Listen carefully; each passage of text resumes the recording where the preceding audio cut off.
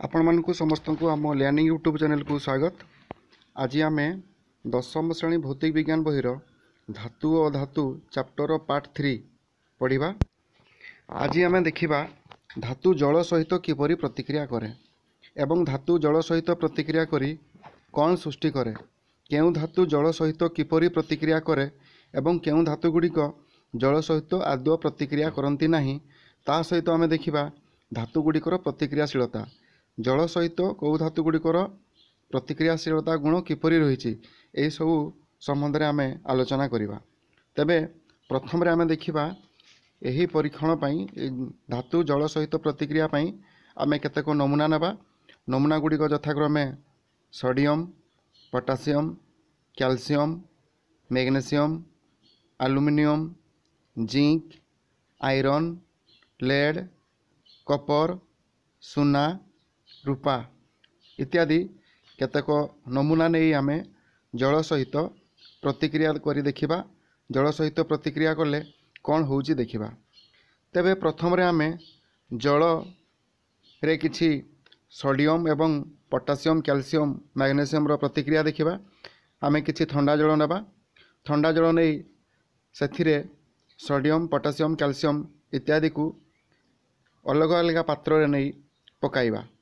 ଏହି ପରୀକ୍ଷଣ କରିବା ସମୟରେ ଆମେ ସତର୍କତା ଅବଲମ୍ବନ କରି ପରୀକ୍ଷା କରିବା ଆବଶ୍ୟକ। ଦେଖାଯିବ ଯେ ଯେତେ ସୋଡ଼ିୟମ୍ ଧାତୁକୁ ଜଳରେ ପକାଇଲେ ସଙ୍ଗେ ସଙ୍ଗେ ନିଆଁ ସୃଷ୍ଟି ହେବାର ଦେଖାଯିବ ଏବଂ ସେଥିରୁ ଏକ ପ୍ରକାର ଗ୍ୟାସ୍ ନିର୍ଗମ ହେବାର ଦେଖାଯିବ। ଦେଖ ସୋଡ଼ିୟମ୍କୁ ଥଣ୍ଡା ଜଳରେ ପକାଇଲେ ଏହିପରି ନିଆଁ ଜଳିଥାଏ।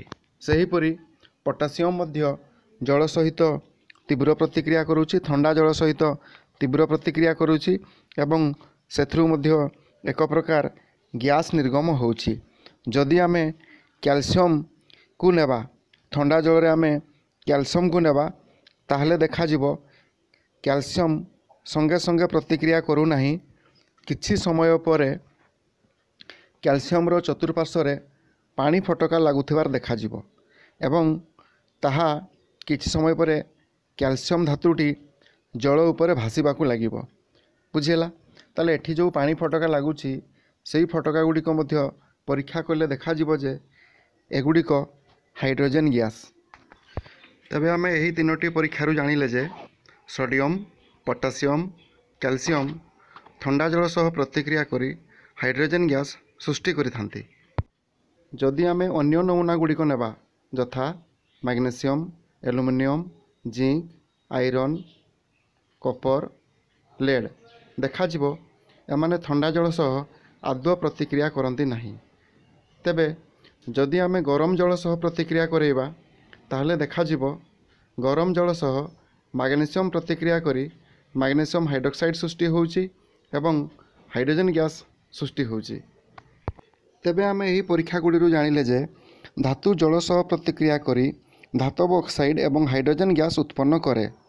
ଯେଉଁ ଧାତବ ଅକ୍ସାଇଡ଼୍ ଜଳରେ ଦ୍ରବଣୀୟ ତାହା ପୁଣି ଜଳରେ ମିଶି ଧାତବ ହାଇଡ୍ରକ୍ସାଇଡ଼୍ ସୃଷ୍ଟି କରେ ତେବେ ଆମେ କ'ଣ ଜାଣିଲେ ଧାତୁ ପ୍ଲସ୍ ଜଳ ଧାତବ ଅକ୍ସାଇଡ଼୍ ପ୍ଲସ୍ ହାଇଡ୍ରୋଜେନ୍ ପୁଣି ଧାତବ ଅକ୍ସାଇଡ଼୍ ପ୍ଲସ୍ ଜଳ କ'ଣ ସୃଷ୍ଟି ହୋଇଥାଏ ଧାତବ ହାଇଡ୍ରକ୍ସାଇଡ଼୍ ସୃଷ୍ଟି ହୋଇଥାଏ ତେବେ ଆମେ ଜାଣିଲେ ଯେଉଁ ଧାତବ ଅକ୍ସାଇଡ଼୍ ଗୁଡ଼ିକ ଜଳରେ ଦ୍ରବୀଭୂତ ତାହା ଧାତବ ହାଇଡ୍ରକ୍ସାଇଡ଼୍ ସୃଷ୍ଟି ହୋଇ କରିଥାନ୍ତି ଅର୍ଥାତ୍ ପ୍ରଥମରେ ଧାତୁ ଗୁଡ଼ିକ ଜଳ ସହିତ ପ୍ରତିକ୍ରିୟା କରି ଧାତବ ଅକ୍ସାଇଡ଼୍ ସୃଷ୍ଟି କରନ୍ତି ପୁଣି ସଙ୍ଗେ ସଙ୍ଗେ ତାହା ଧାତବ ହାଇଡ୍ରକ୍ସାଇଡ଼୍ରେ ପରିଣତ ହୁଅନ୍ତି ଏବଂ ହାଇଡ୍ରୋଜେନ୍ ଗ୍ୟାସ୍ ଉତ୍ପନ୍ନ କରନ୍ତି।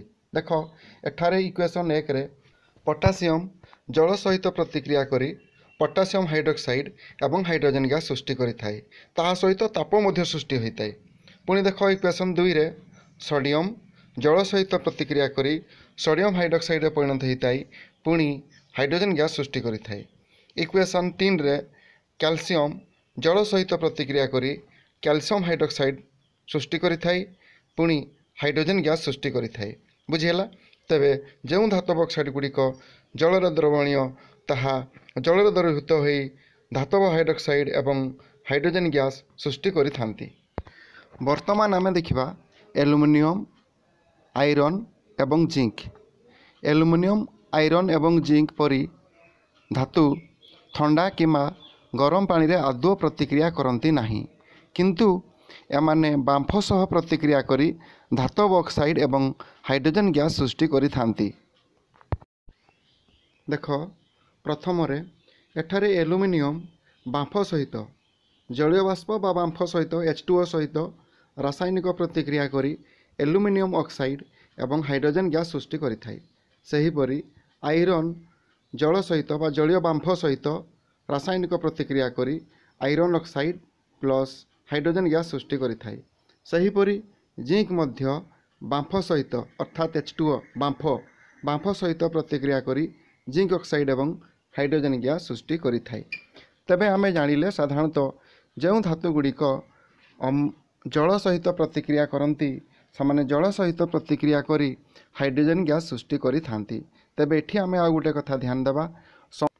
କେତେକ ଧାତୁ ଯଥା ଲେଡ୍ ତମ୍ବା ରୂପା ଏବଂ ସୁନା ଆଦି ଜଳ ସହିତ ଆଦୌ ପ୍ରତିକ୍ରିୟା କରନ୍ତି ନାହିଁ। ବୁଝିହେଲା? ତେବେ ଆଜିର ପାଠକୁ ଆମେ ଏଇଠି ରଖିବା। ଯେଉଁ ଭାଇ ଭଉଣୀମାନେ ଆମ ଲେର୍ନିଂ ୟୁଟ୍ୟୁବ୍ ଚ୍ୟାନେଲ୍କୁ ସବସ୍କ୍ରାଇବ୍ କରିନାହାନ୍ତି ସବସ୍କ୍ରାଇବ୍ କରିଦିଅନ୍ତୁ। ଯାହାଦ୍ୱାରା ଆମେ ପରବର୍ତ୍ତୀ ସମୟରେ ଏହିପରି ଯେଉଁ ଭିଡ଼ିଓ ଗୁଡ଼ିକ ପୋଷ୍ଟ କରିବୁ ତାହା ଆପଣଙ୍କ ପାଖକୁ ସହଜରେ ପହଞ୍ଚି ପାରିବ ଏବଂ ଆପଣମାନେ ଏହାର ଲାଭ ଉଠାଇ ପାରିବେ। ଧନ୍ୟବାଦ।